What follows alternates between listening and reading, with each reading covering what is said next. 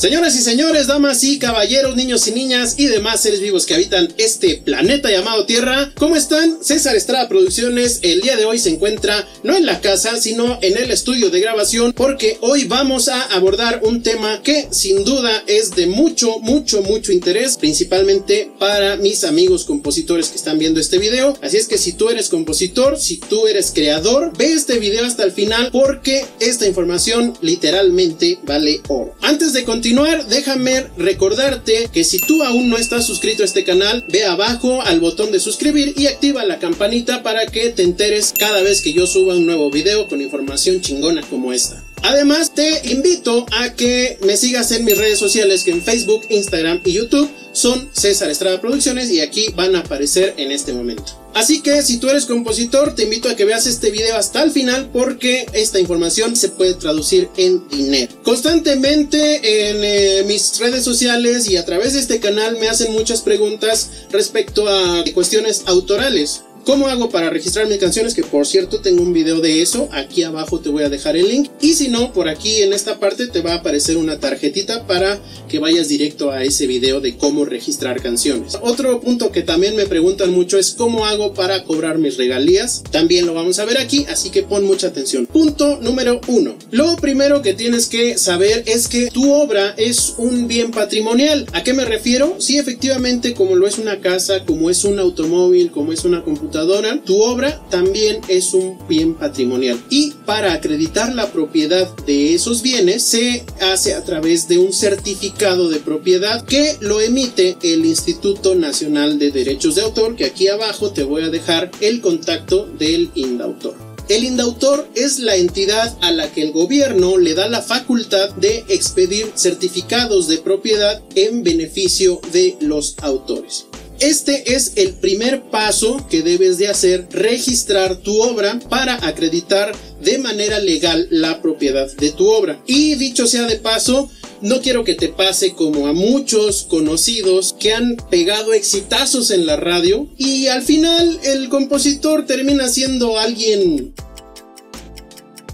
alguien. ¿Ah? Entonces, para que esto no te pase, tienes que registrar tus canciones. Aquí abajo te dejo el link del video donde te enseño cómo registrar tus canciones ante Indautor. Muy importante, Indautor no paga regalías. De hecho, tú para registrar tus canciones tienes que hacer un pago de registro que es muy muy económico son alrededor de menos de 300 pesos son menos de 15 dólares aquí en México eh, y bueno es el primer paso punto número 2 una vez que tu obra ya fue grabada por algún artista y que se explota de manera pública comienza a generar regalías. Las regalías las administran dos entidades. En primera instancia, la Sociedad de Compositores, que también te voy a dejar aquí el link abajo, y las editoras. A continuación te explico cómo funciona cada una. La Sociedad de Autores y Compositores de México es una sociedad de gestión colectiva, la cual se encarga de representar a los autores para cobrar las regalías de ejecución pública. ¿Y qué es la ejecución pública? Bueno, la ejecución pública es, como su nombre lo dice, todas aquellas reproducciones de tu música que se realicen a través de medios de difusión pública.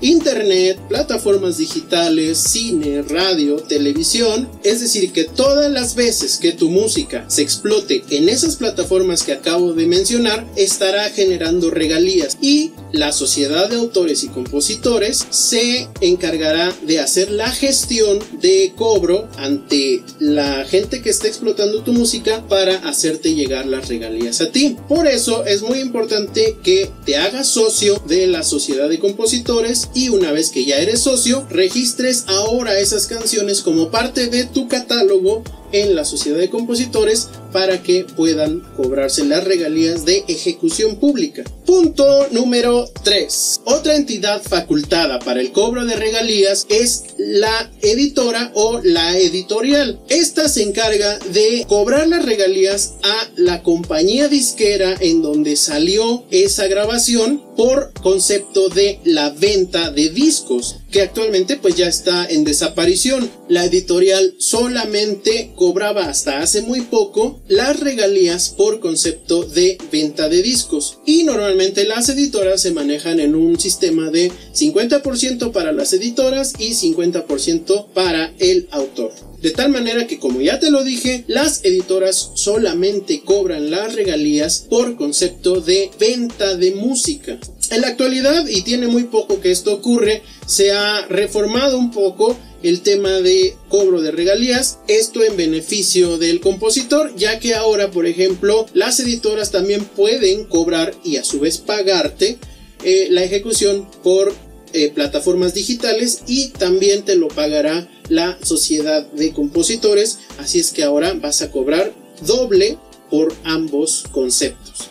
Y bueno, ojalá que esta información te sea sumamente útil y si tú consideras que esta información tiene que llegar a otros compañeros compositores, no olvides compartirles el video porque por ahí afuera hay mucha gente que tiene muchas canciones buenas y no tiene esta información y son presa fácil de muchos vivales que andan por ahí queriéndose robar como buitres las buenas canciones. Eso ha pasado desde hace mucho tiempo. Evitemos que pase esto y compartamos esta información con toda la gente que está allá afuera y crea unas magníficas y hermosas canciones. Escribe aquí abajo en los comentarios alguna duda que te haya quedado, yo con gusto te la puedo resolver. Y también déjame por supuesto escrito nuevas ideas que tengas para videos chidos sobre estos temas. Yo te agradezco que hayas visto este video hasta el final y te recuerdo que en el 2020 tú y César Estrada Producciones seguimos cabalgando hacia el éxito. Muchas gracias, hasta la próxima.